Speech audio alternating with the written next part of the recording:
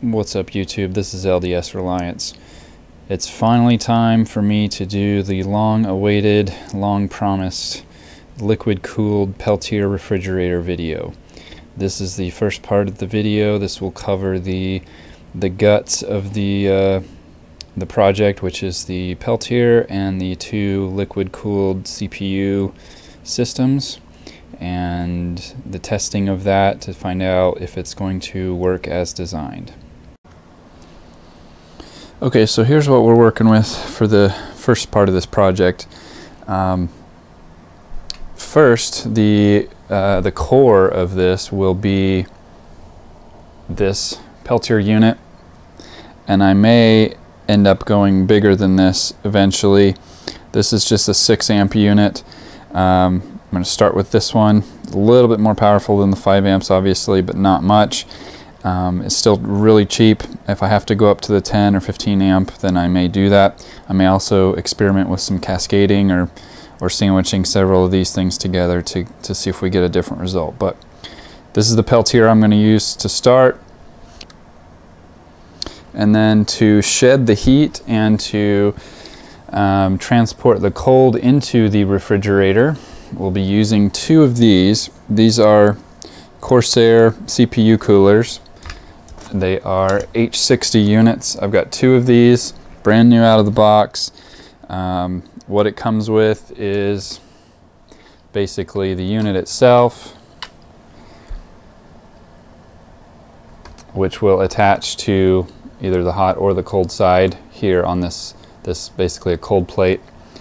And uh, comes with some mount mounting hardware so that we can sandwich these things together and a fan to blow through the radiator.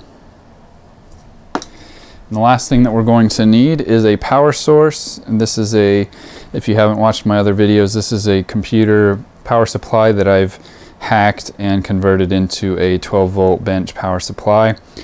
So the yellow wires are 12 volt positive and then the black wires are negative.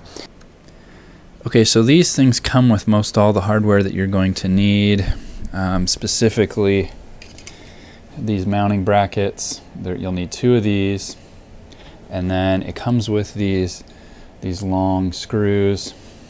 But you will need to get some some standoffs from somewhere. Um, these are just uh, motherboard standoffs. They're very common for anyone who's built a PC before.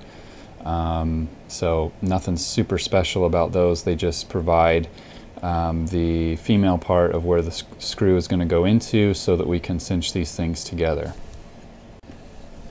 So as you can see, these uh, these cold plates come with some some um, thermal compound already on them, so you don't you don't need any extra of that. Hopefully, um, so the the Peltier will just attach right here on where that gray material is, and uh, and then we will put the mounting brackets on the back side and cinch them together with the screws and the standoffs.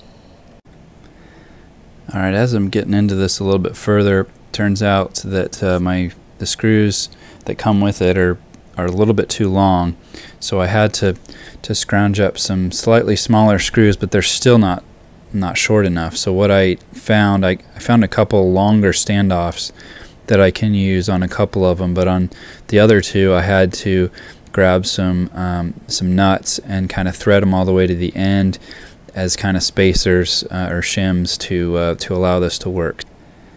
Okay, so now we're left with something that looks like this. It's all cinched down and tight, um, but now we've got these.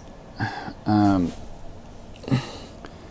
these connectors on the end that are meant to connect to a computer motherboard. So we only need two of these wires and we don't need this connector. So we need to snip off the end. But before you do, I don't know if you're going to be able to see this, but there is a there is a marker on one uh, one side or the other, the far left or the far right, that denotes the negative wire. So before you snip off the end, you're going to want to make sure that you remember which one is the negative wire. And while we're at it, do the same thing for for the fan. Now, I'm pretty sure you can see this. See there on the left, that little arrow? So this that would mean that the far left wire is going to be the negative.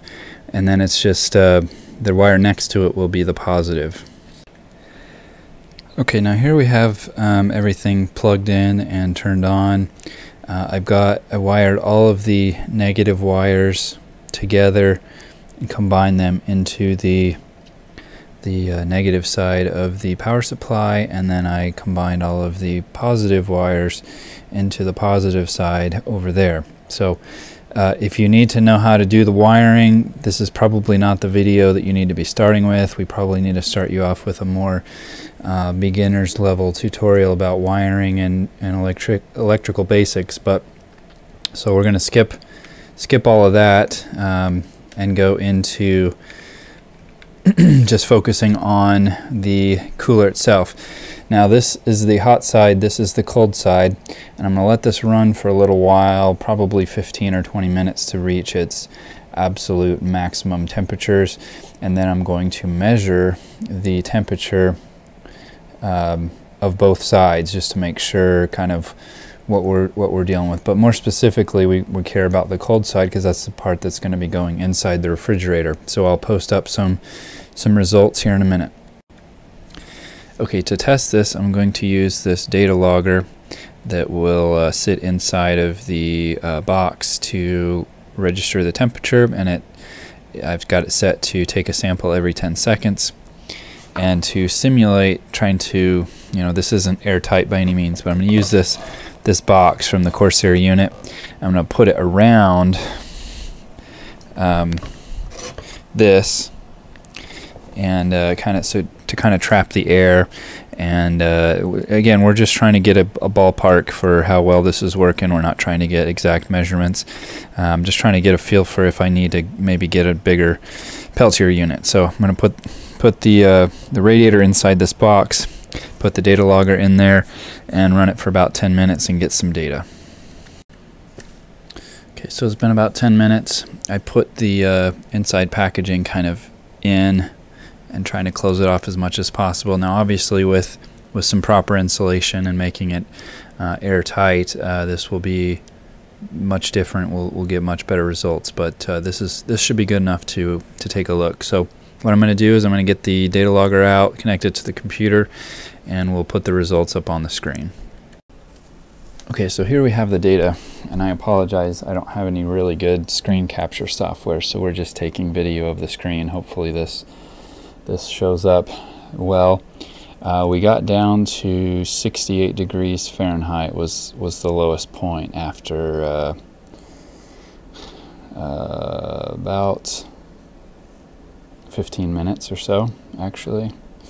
So it may have gone down slightly further if we hadn't uh, shut it off, but um, but not a whole lot. So I think with some proper insulation, uh, again making it airtight and uh, and so forth, I think we probably could get this down to about 50, 55 degrees, somewhere in that neighborhood with uh, with this Peltier. So I don't think this is going to get me where I want it to be.